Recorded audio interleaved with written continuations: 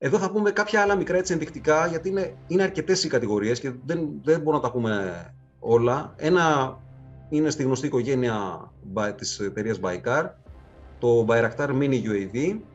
Όπως βλέπουμε, είναι, τα νούμερα είναι πολύ λιγότερα από αυτά που είδαμε πριν. Έτσι, όλο, όλο και όλο αυτό είναι 10 κιλά. Το εκτοξεύει ο ίδιος ο στρατιώτης.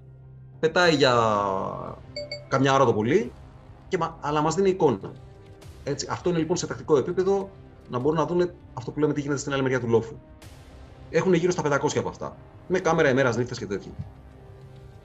Ε, εδώ είναι τώρα κάποιες πιο σύγχρονες ε, προτάσεις τους.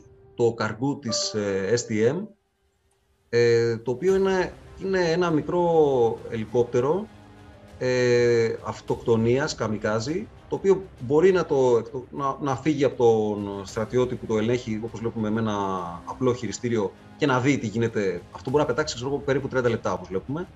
Και έχει μια εμβέλεια 5 χιλιόμετρα μέχρι τόσο πιάνει η επικοινωνία. Μπορεί να δει τι γίνεται στην άλλη πλευρά του λόφου που λέγαμε ή να πάει να κάνει μια αυτοκτονική επίθεση όπως βλέπω εδώ πέρα. Αυτό από, από βίντεο που έχει η εταιρεία και φαίνεται ότι καθώς κατεβαίνει αυτό, σκάει με κάποιο, ώστε να χτυπήσει σε κάποια ακτίνα μαλακούς στόχους. Με, με πολεμική κεφαλή 1,3 κιλά.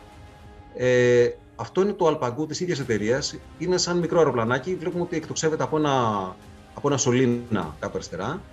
Ε, πιο μικρή πολεμική κεφαλή, πιο μικρή εμβέλεια, αλλά ένα μικρό αεροπλανάκι το οποίο μπορεί να χτυπήσει μέχρι 10 χιλιόμετρα και να χτυπήσει και αυτό. Ε, ε, έχει και αυτό κάμερα ε, και μπορεί να χτυπήσει και στόχους. Αυτά δεν φαίνεται αν το έχουν πάρει ή όχι. Αλλά γενικά εξελίσσονται και αναπτύσσονται στο συγκεκριμένο τομέα. Εδώ είναι άλλες ε, προτάσεις που είναι υπό ανάπτυξη. Το ε, Bayraktar Diha είναι το επάνω, που είναι κάτι ανάμεσα από ελικοπτεροφόρο και ε, συμβατικής πρόωσης. Και από κάτω είναι η, η έννοια του swarm, δηλαδή τους μήνους, να είναι πολλά μαζί. Το οποίο είναι πολύ δύσκολο να, να αρχιτήσει κάποιος κάτι τέτοιο. Έτσι.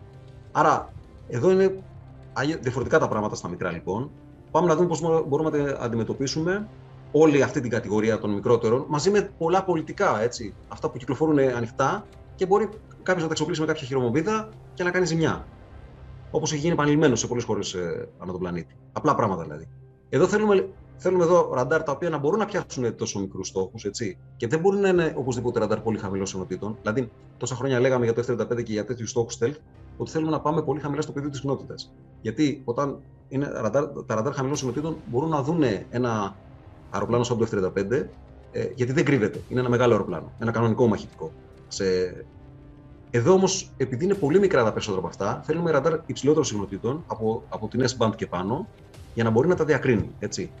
Ε, Βεβαίως, όπως και πριν, κάποια συστήματα ESM, Electronic Support Measures που ακούνε εκπομπές, πιο συγκεκριμένα εδώ θέλουμε να κάνουν και ανάλυση RF analyzers, να ακούνε τις ηλεκτρομαγνητικέ εκπομπές για να μπορούν να καταλάβουν τι γίνεται. Γιατί αν αυτό είναι μέσα σε μια πόλη, που υπάρχουν πάρα πολλές εκπομπές ούτως ή άλλως, πρέπει μέσα σε, να, να το εκπαιδεύσουμε μέσα στο, στο θόρυβο να καταλάβει ότι εδώ έχουμε και κάποια εκπομπή τηλεκατευθυνόμενου. Γιατί τα περισσότερα από αυτά είναι τηλεκατευθυνόμενα, έτσι. Οπότε εξαρτώνται από, τα, από το σταθμό εδάφου. Ενώ τα μεγαλύτερα που είδαμε πριν δεν εξαρτώνται, είναι αυτόνομα σε μεγάλο βαθμό.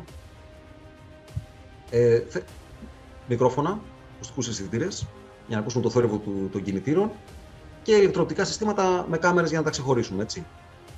Ε, Ξεκινώντας από τα ραντάρ, τα ραντάρ έχουν σαφώς έχουν μεγάλη, μεγαλύτερη, μεγάλη εμβέλεια σχετικά, έτσι, γιατί δυστυχώς όλα αυτά έχουν πολύ μικροαρσίες. Και αρκετά από αυτά είναι πλαστικά, με το μόνο μεταλλικό μέρος να είναι για παράδειγμα ο κινητήρας τους. Να έχει ο άξονας του κινητήρα. Και το υπόλοιπο να μην είναι ούτε καν να είναι όσο γίνεται με πλαστικό. Ε, οπότε αυτός μας δίνει πολύ μικροαρσίε, πολύ μικρό ίχνο στο ραντάρ. Τέλος πάντων, το ραντάρ σαν προτέρημα, παρόλο που θέλουμε, καταλαβαίνουμε ότι εδώ πέρα θέλουμε ειδική κατηγορία ραντάρ ε, μας δίνει τη δυνατότητα να έχουμε συνεχή παρακολούθηση, να έχουμε ακριβέστερη εκτίμηση το που βρίσκονται και τι κάνουν, να βλέπουν πολλούς στόχους παράλληλα. Δεν επηρεάζονται από καιρικές συνθήκες, αλλά μπορεί να έχουν ψευδείς στόχους. Ε, Προφανώς μικρό, το σύστημα έχει μικρό RCS, ε, πιο μικρή εμβέλεια λοιπόν, και βέβαια μπορούν να παρεμπληθούν τα ραντάρ. Έτσι.